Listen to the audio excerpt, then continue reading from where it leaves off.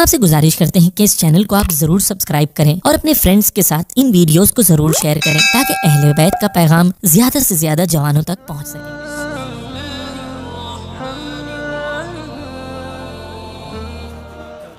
एक जुमला है जो एक मतलब है जो बार बार पहले भी अर्ज़ होता रहा और इसकी ताकीद होती रहेगी जब तक कि इंशाल्लाह वो मिजाज हमारा ना हो जाए कि करबला को समझने का बेहतरीन रास्ता यह है कि ख़ुद हुसैन अपने अली के कलाम से करबला को समझा जाए इसलिए कोशिश ये होती है कि ज़्यादा से ज़्यादा ख़ास कर अयाम अज़ाम इमाम हुसैन के कलाम से इस्ता किया जाए इन मजलिसों में और इन गुफ्तु में जो आपके सामने चंद सालों से हाजिर होने की तोफ़ी हो रही है।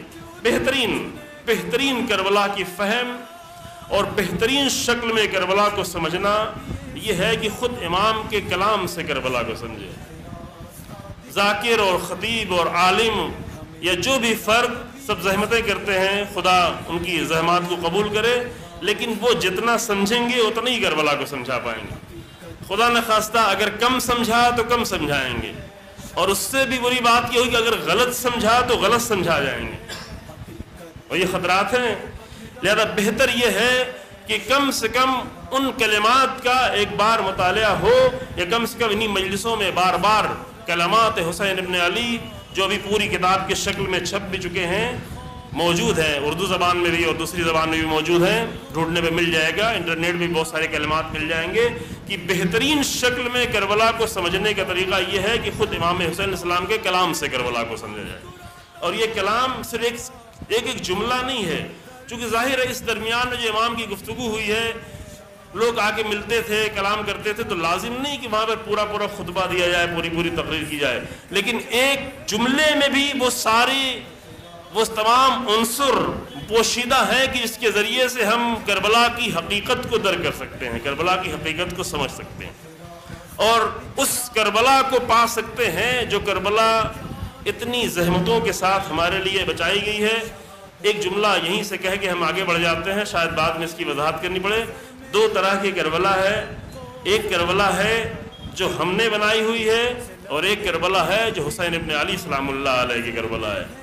और हमें अपनी करबला से एक सफ़र करना है। अभी करबला से मुराद वो ज़मीन नहीं है, जो अभी इराक में है।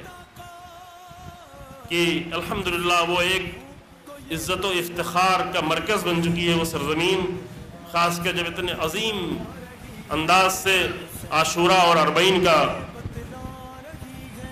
के मरासिम वहाँ पर अंजाम पाने लगे तो एक बड़ा पूरी दुनिया के लिए और पूरी दुनिया इंसानियत के लिए लोगों की तवज्जो का मरकज़ बन गई, और जैसे जैसे वक्त गुजरता जाएगा, ये तवज्जोहात कहीं और ज़्यादा बढ़ती चली जाएँगी। लेकिन अभी जो हम आपके सामने अर्ज़ कर रहे हैं, वो करबला जो हमारे इन्हीं गुफ्तु के दरमियान में, मजलिसों के दरमियान में, इन मरासिम के दरमियान में, अज़ा के दरमियान में है, वो करबला दो तरह की करबला है। एक करबला वो है कि जो हमने बनाई है। ये करबला अलग अलग हो सकती है। मुमकिन लखनऊ की करबला अलग हो, ईरान की करबला अलग हो, इराक की करबला अलग हो। बहुत सारे इलाकों की करबलाओं में फ़र्क हो, मरासिम में फ़र्क हो, अंदाज में फ़र्क हो, लेकिन एक करबला है जो हुसैन इबन अली सलाम की करबला है। एक करबला है जिसमें हुसैनी पैगाम है, हुसैनी अंदाज है, हुसैनी तरीक़े हैं, वो कभी नहीं बदलते। ज़माना कितना ही तब्दील क्यों ना हो जाए, लेकिन हुसैन इबन अली सलाम की करबला कभी तब्दील होने वाली नहीं है। हमें इन मजलिसों के ज़रिए से एक बड़ा काम जो करना है वो ये है कि अपनी बनाई हुई करबला से निकल कर हुसैन इबन अली की करबला में दाखिल हो जाए